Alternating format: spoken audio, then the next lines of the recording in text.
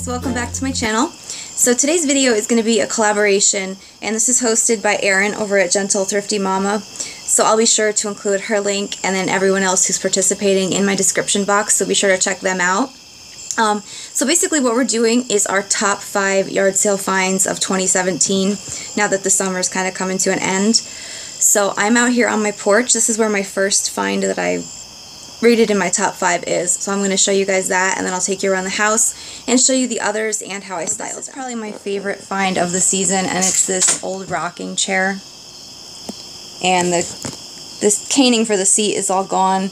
Um, I was going to put a plant or something in but never got around to it. But I just love how it's got all the wear on the wood. And I picked this up for 2 or $3 and I think it just adds the perfect touch to the corner of my porch. So this is my favorite of the season. So this is another I would rank in my top five, and it's these three oil cans. I picked these up for $2 total. It was a yard sale where they cleaned out like houses and estates, and they just had these. I washed them up with a little dish soap to get some of the grime off, and right now they're kind of just sitting in my potting bench area. But I like how they look kind of industrial and rustic. So the next thing I'm going to show you guys is this enamelware set. And I got this pitcher, the four cups, and the four spoons all for $2.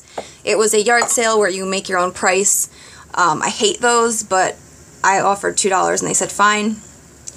So one of the reasons why I love this, I used it in the summer, you can see with a little faux plant on the top, and this is just one of those Ikea ones. But I felt like the blue and white was kind of cool for like July 4th, Memorial Day, Labor Day. But I think once winter comes, this is going to be so cute in a little like hot cocoa bar set up on my porch. So the next find I'm going to show you guys is these Pepsi bottles. And these were actually part of my summer $5 Goodwill challenge. They were 25 cents a piece. But I kind of just went crazy for the whole Americana red, white, and blue theme this summer. So you get the print and the cursive on this bottle. And then this one is the same. So I, I do one cursive and then one print, just kind of mix it up. But like how cute would this be at Christmas if you nestled some like greenery on the bottom and then put some of those like fairy lights inside, the ones with the copper wires that they have now. That would be like really cute, I think, especially if you could have put them in like a wooden crate or like even a tobacco basket like that's behind them right now. But that's why I think those are really cool. And then the last thing I'm going to show you guys, this is like right up there for first place tied with that chair, is this Shark Steam Mop. And I know this is like a boring thing, not home decor, but this thing is like amazing. I paid $10. I almost passed it up because I felt like that was a lot.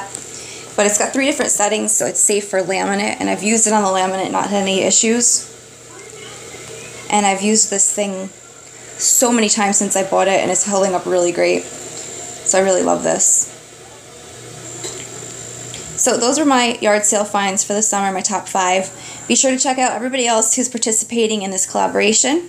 And if you're not already subscribed, please like and subscribe. I'll see you in the next video.